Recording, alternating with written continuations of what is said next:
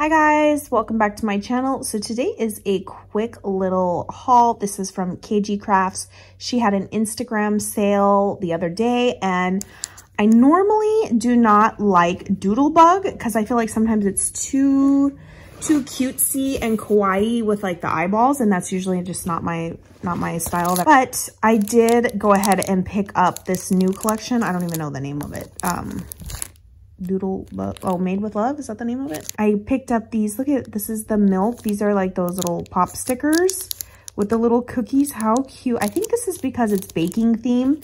It's extra cute you know? These are the little um utensils the spoon the whisk super cute. these are like the little um cookie sprinkles shaped sprinkles like little cookies super adorable. And then, oh, I picked up this Lawn Fawn shaker.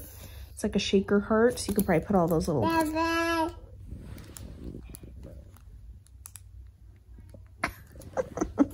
could probably put all those little shaker bits in there. EXO, super cute. And then I didn't get the ephemera of this, but I got the Chit Chat version. Comes with 92 pieces. And look at all those sentiments. My better half. I like that they're little like banner shaped. Thank you, you're so sweet. I loaf you. Lots of little like puns on there. Baked with love, little circles. You're so sweet, baked with love. I love, like literally it's all the little chit chat. Look at that. Hello sugar, happy EXO, sprinkle kindness like confetti. Super, super cute. And again, you get 92 pieces with this like little ephemera pack.